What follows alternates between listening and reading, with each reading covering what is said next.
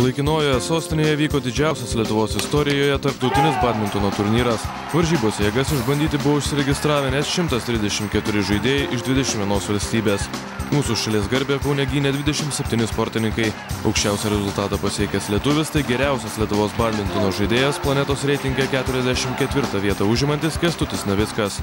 Geriausių pasaulio badmintonininkų 50-uke esantis atletas vyrų vienetų varžybų finale po trijų setų kovos 21-17, 12-21, 21-11 įveikė Airis Skotą Evansą ir iškovojo čempiono titulą.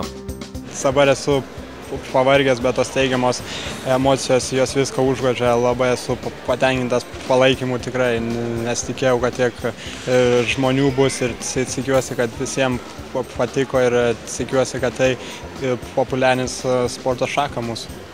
Ne kiekvieną kartą galima iš dviejų setų išlošti, bet gerai, kad tos energijos valiko, gerai, kad psichologinių jėgų valiko ir labai džiaugiuosi, kad galų gale, nors ir iš trijų setų, bet išlošiu. Finalinė dvikova Lietuvui buvo principinė. Praėjusiu metu Europos čempionato aštuntfinalėje Evansas sutrukdė Navickui kovoti dėl Europos čempionato medalio. Todėl lietuvis dabar suvedė seną sąskaitą su airiu.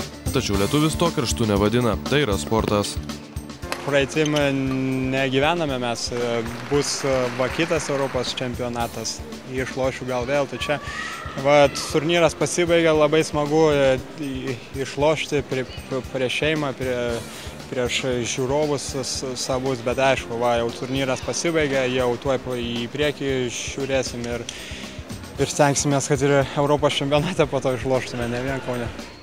Moterų vienetų čempionė tapo Airė Chloja Magi, kuri kartu su broliu Semu triumfavo ir mišrių porų varžybose.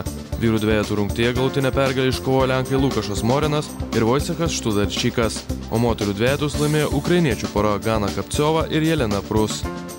Marius Rembalinas, Sitvaras Sport 1 žinios plus Kaunas.